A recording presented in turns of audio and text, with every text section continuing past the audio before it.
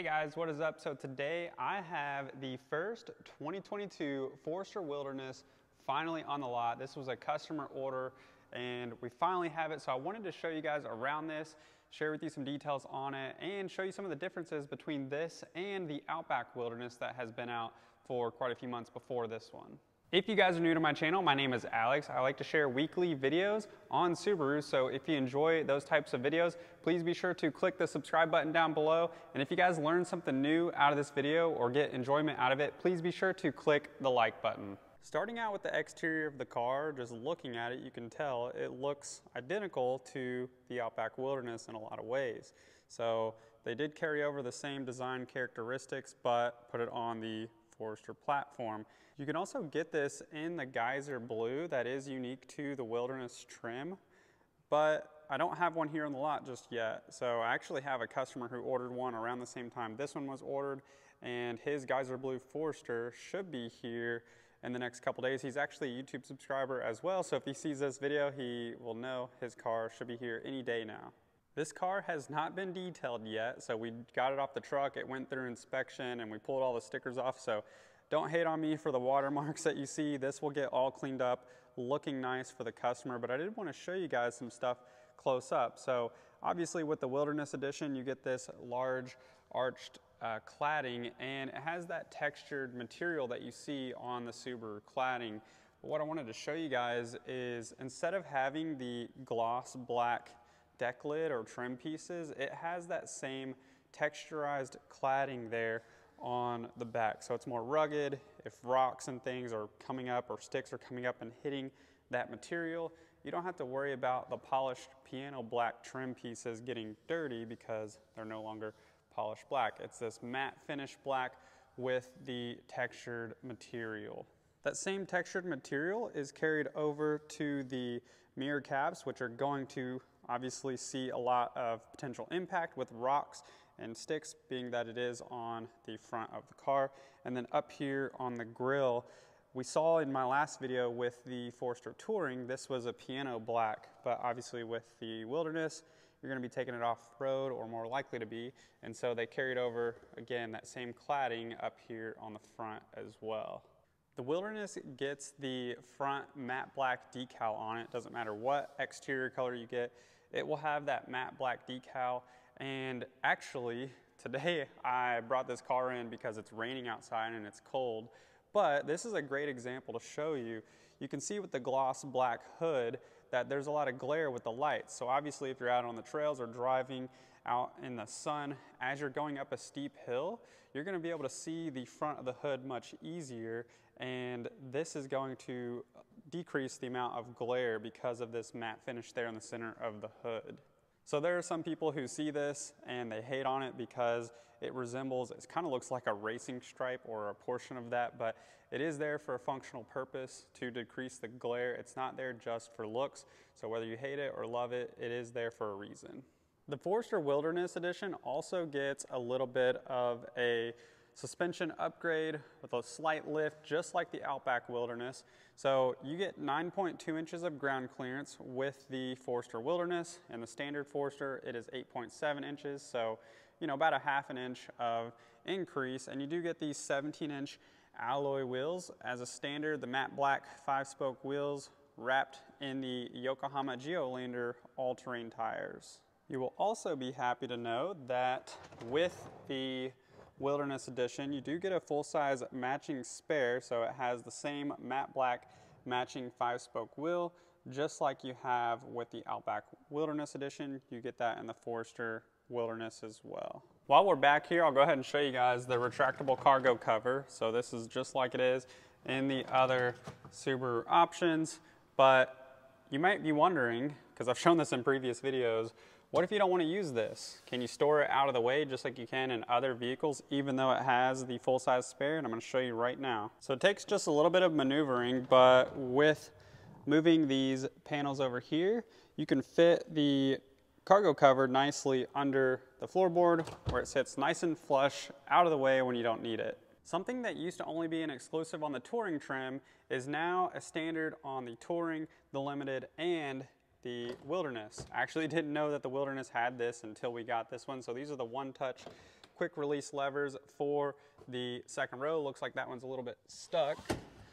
And there you go. So you can drop your seats whenever you're loading up cargo from the rear. Something else I wasn't aware of until just now is that, so although this one has the rear seat back protectors on it, the backing of the Wilderness Edition is actually the same StarTex material that you have on the front. It's just a different texture. It's a little bit harder and more rugged. So, you know, you might be able to get away with not having a rear seat back protector on this. At least you would definitely be able to get away with it much easier than you would on your standard Forester because standard Foresters have cloth material back here. But it is nice to have this thicker, more rugged material, especially because whenever it does get dirty, you can pull it out just like this, hose it off, let it dry out, and put it back in whenever you need it. The Forester Wilderness also comes standard with the keyless access with push button start and the power tailgate. So I've talked about the benefits of this push button start and the ability to set up your remote start through the My Subaru app. It is a subscription. I am going to be making a video on that very soon because I've had a lot of people request it. So stay tuned for that. But this is how your power tailgate works with the Subarus whenever it's equipped. So you click and hold this button right here and it will lower the tailgate. You can also click and hold it to open the tailgate as well. In my last video, I covered these briefly. You've got two cargo hooks now that are standard on all Foresters in 2022. So you can put a bag there, which somebody brought up a good point. If you put a bag there and you're driving, if it's heavy enough, it could bust out this back window. So, you know, there's, there's a, I would say a limit. This has a six pound limit, so you wouldn't want to have anything too heavy there. And additionally, it might be more useful at a stationary position if you're camping. You could hang a light here or some other form of equipment to have it out of the way. Speaking of lights, the Wilderness Edition does get a rear cargo LED light back here in the cargo area as well as back here on the hatch.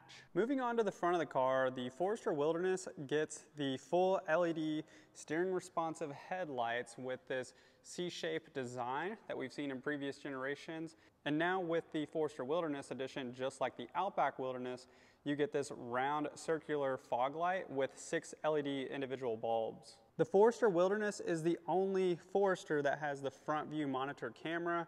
So this is great for not only on the trails whenever you're going up and around corners and hills, but also even if you never take it off-roading and you just want to get a little bit better view when you're pulling in or out of parking spaces, pulling up to cars and parking lots, this is going to be much easier to be able to see visibly in front of you. I'm not sure why Subaru did this, but when comparing the Outback Wilderness to the Forester Wilderness, you'll notice that on the front, the tow hook, so there's only actually one tow hook on the front and one in the rear, and instead of having that anodized copper finish around the tow hook panel to hide it, you just have this black cladding panel here. So it is much more discreet and you wouldn't see it as likely as you would with the Outback Wilderness. If you look down below here past this silver uh, aluminum painted plastic piece, there is an actual aluminum skid plate down below here. Now that aluminum skid plate is going to be very soft, so for heavy off-road use probably isn't going to do much good, but Subaru does sell genuine skid plate accessories, so you can get something more substantial if you want on your Subaru. In my last video where I covered the new things for the 2022 Forester, that one was a touring edition and it has four tie down points for the roof rails. For the Wilderness edition, you can see it has six tie down points, three on this side and three on the other side. These roof rails can also support up to 800 pounds static weight. So this is great for if you wanna go camping and you wanna put a tent on top of your Subaru. I'm gonna show you guys the interior of the car real quick and then we're going to move on to the engine and talk about some of the performance. This is different from the Outback Wilderness, but it's also different from your standard Forester. So I'll talk about that in just a moment. On the Wilderness Forester, you get the same interior seats that you get in the Outback Wilderness with the embossed badges up at the top and the headrest, the orange or gold stitching, and the dimpled StarTex material. Now this material is water repellent and it's vegan, so it gives you the same feel and quality, in my opinion, as leather, but gives you a more sustainable product and something that is very easy to maintain and clean. The floor mats in the Wilderness Edition also carry over the same design that you see in the Outback. You've got the Wilderness badge logo and the rocks or mountainous material makes it look a little bit more rugged than your standard all-weather floor liners. The floor pedals are the aluminum brush finish with little rubber grips on them, so great for grip and things like that. When you are in the car, maybe you have mud or dirt or water on your feet, you'll have the confidence of having more grip with this style pedal. On the door cards, you have the same design carried over with the StarTex material, the orange stitching, and you get these little Subaru Wilderness tags. I think those are really cool. Just adds a nice touch to the car overall feel of the, the interior design. The speakers on the Forester Wilderness Edition are actually Harman Kardon, which is interesting to note because the Outback Wilderness doesn't even offer Harman Kardon. That's something that a lot of people complained about and wanted, so it's nice to see that they added this on the Forester Wilderness Edition for people who want a little bit better sound quality than what comes standard in your Subaru. The interior really resembles a lot like the Outback minus the screen. So this is obviously a, a smaller touchscreen display than you see in the Outback that has that 11.6 inch touchscreen display. You still have your analog controls and you have the orange anodized copper finishes on the steering wheel, the shift lever, and on your X mode button. So we covered the interior of the car, the exterior of the car. Now let's talk about the engine and some of the performance. If you've read anything in the media about the Forester Wilderness Edition, you know that it has double the towing capacity as your standard Forester. So standard Foresters have a 2.5 liter four cylinder engine with 182 horsepower and can tow up to 1500 pounds. This one has the same 2.5 liter engine, 182 horsepower, but it can tow up to 3,000 pounds. So you're like me, at this point, you're probably questioning, how is that possible? How do they do that? Well, Subaru has done that in a couple different ways. So starting out, they added a more powerful engine cooling fan on the Wilderness Edition. And then the second thing they did was adding an external oil cooler for the CVT transmission. So this is how they've been able to achieve a greater towing capacity. They have also changed the gear ratio for the transmission to allow for better lower end torque, low speed torque, when climbing hills and pulling things behind the vehicle. The last performance feature that I want to talk about is X mode. So if you're unfamiliar with X mode, I'll give you a brief explanation on that right now. And basically what that does is it changes your all-wheel drive system's characteristics. So Subarus are all-wheel drive at all times, but if you're in a situation where you may lose traction, you may want to have more control over how that is operating. So for example, with traditional X mode or single X mode, what would happen is if you've got X mode activated, whenever you're climbing a steep hill, it will detect loss of traction and send power to the wheels that only have traction. So an example of this is you're climbing a muddy road or a gravel road that has just been rained on and the front wheel starts slipping. Well, it's going to stop power to that wheel and it's going to send it to the other two or three wheels, whichever ones have traction to keep the vehicle moving forward. So what Subaru has done is they've integrated a system now where you can adjust to dual X mode. So snow dirt is going to be more like the single X mode that I was just talking about, where it's going to limit wheel spin. And then deep snow mud is going to turn your traction control off. So it's going to allow more wheel spin whenever you're in a situation where you've got heavy snow or you need a little bit of wheel spin to gain momentum. So traditionally, X mode would deactivate whenever you reach a speed of, I believe, like 18 miles an hour or 20 miles an hour. They've now increased that to 25 miles an hour. And whenever it would deactivate, you would have to go over here and turn it back on.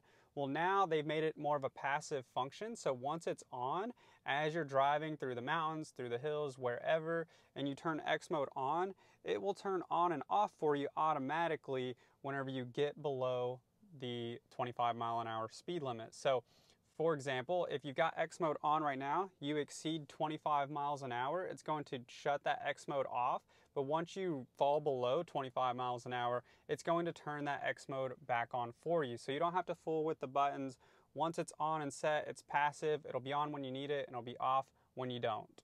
That about wraps it up for today's video. I hope you guys enjoyed it. If you did, please be sure to click the like button. If you like Subaru videos like this, please be sure to click the subscribe button down below. I hope you guys have a great day and I will see you in the next one.